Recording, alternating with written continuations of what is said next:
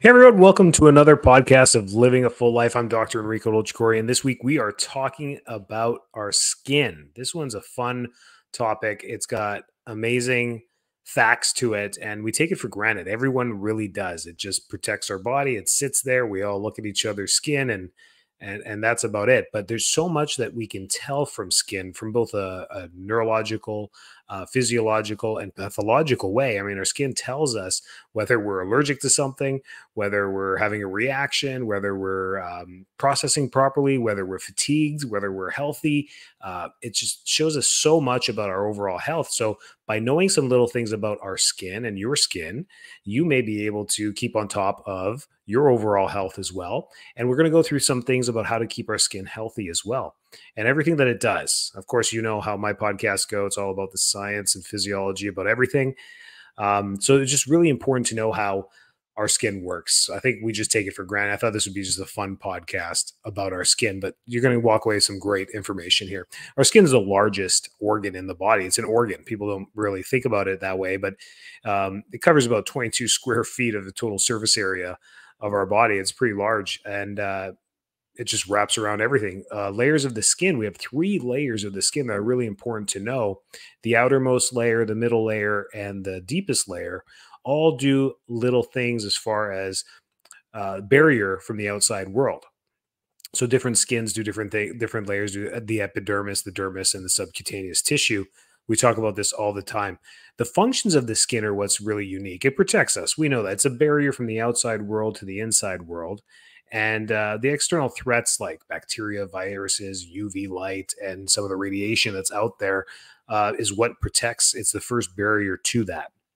Then it regulates, it helps regulate our body temperature through sweat and blood vessel dilation and constriction, and has sensation control as well. All the senses and nerve endings in our body end in our skin. So it's called our dermatomes and our sense sensory area of the skin that really adapts our neurology to the outside world. It's really cool. It can tell temperature differences, and cold and heat and and sensation and prickly and soft and textures.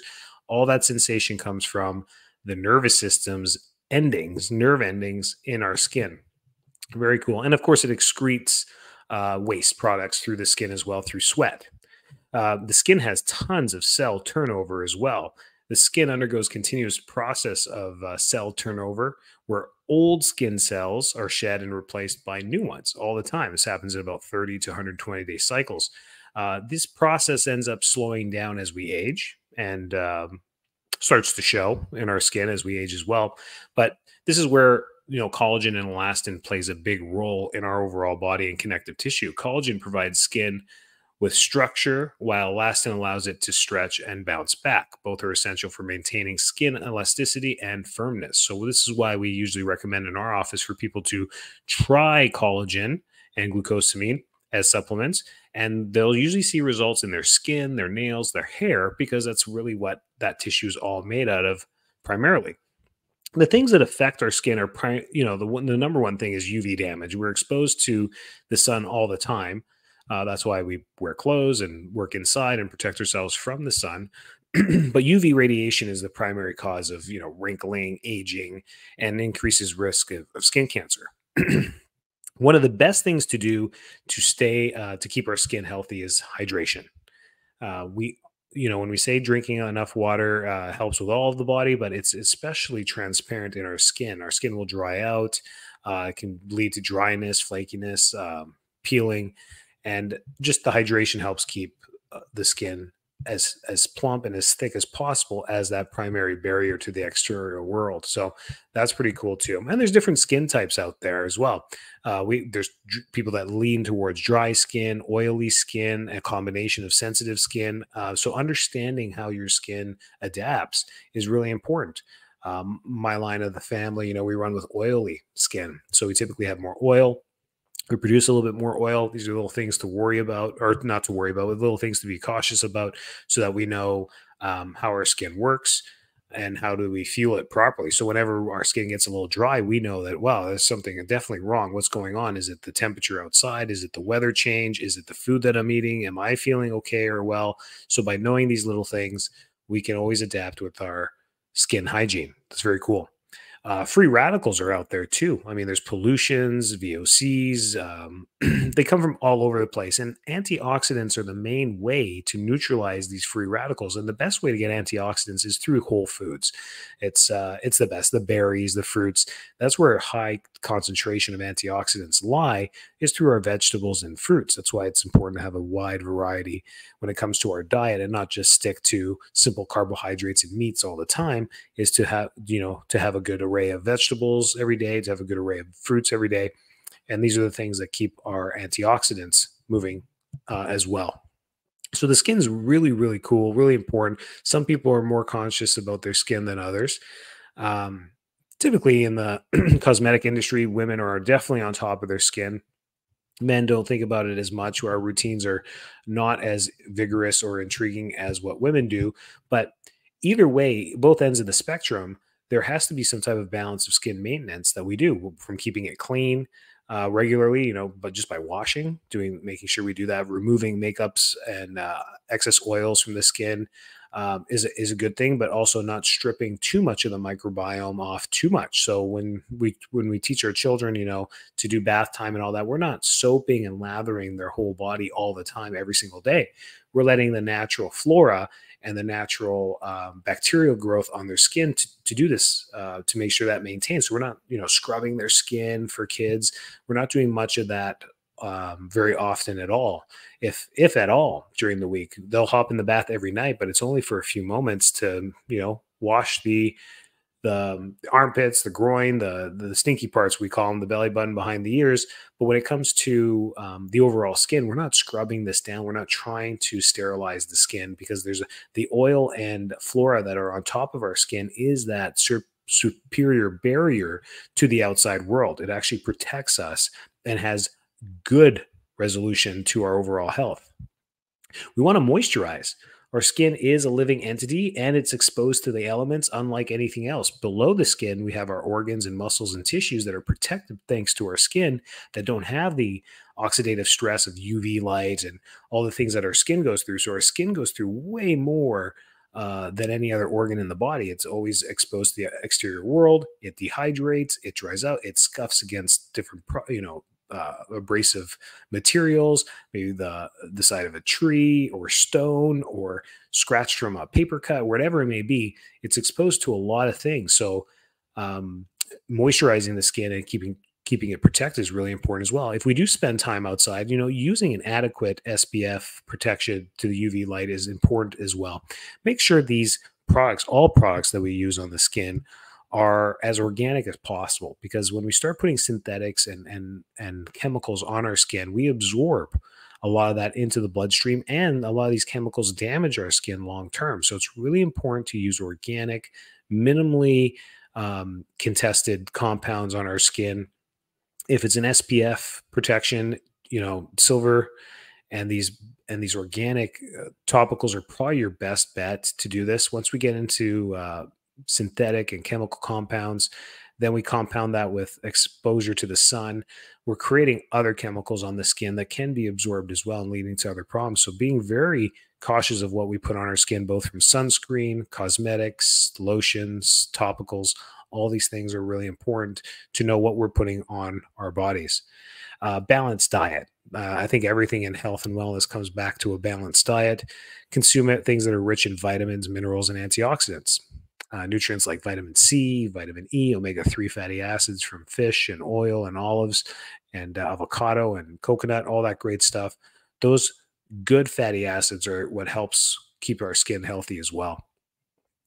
Stay hydrated, avoid smoking because it just severely dehydrates tissue ex- excessive uh, to the skin as well. I don't know if you uh, know anyone that's a chronic smoker or chain smoker or long term smoker, their skin looks vastly different than your skin. And that's because of the effects of damaging from the dehydration of the skin over time. Alcohol can also dehydrate skin. So limiting the alcohol consumption overall is, is a great idea there too. Stress shows up in our skin, both mental and physical stress. So chronic stress can neg- negatively impact our skin. So practice, you know, stress management techniques, meditation, deep breathing on a regular basis because this stuff is what shows through our skin and our and that organ gets stressed as well regular exercise is one of the best things you can do for your skin health um, preserving it and uh, keeping it healthy.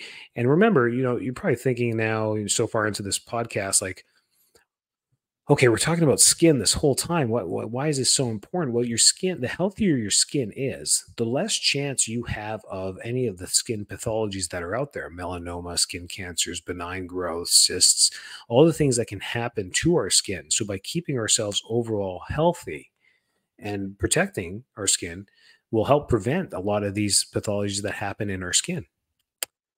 So, get enough sleep too same types of things we talk about. You can substitute skin for heart, for liver, for brain, whatever you want to talk about, whatever organ you want to talk about. They all basically need the same thing proper nutrition, proper rest for regeneration, protection, and proper diet and exercise. I mean, it all kind of circulates around the same things over and over again.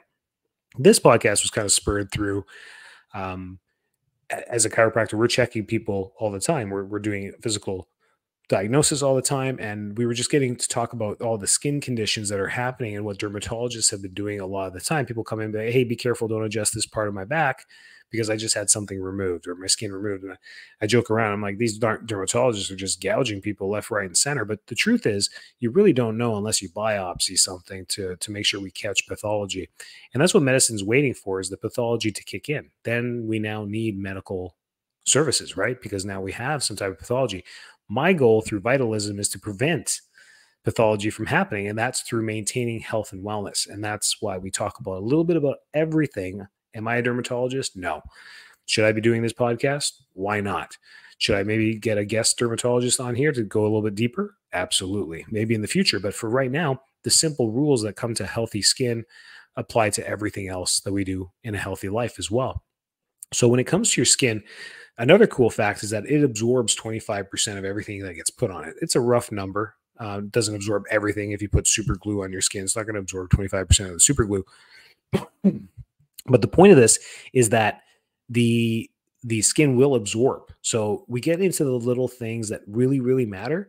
Our water filtration system on our home makes a huge difference as an extra barrier to remove chemicals and pesticides and herbicides and and even uh, chemicals and um, prescription drugs out of our water supply. So that way when we go and sit in a bath or we have a shower all the water that is falling onto our skin that we don't pick up 15 20 25% and absorb this into our bodies. That's a lot of chemical exposure that we don't need over time. Think about how many times you shower or have a bath.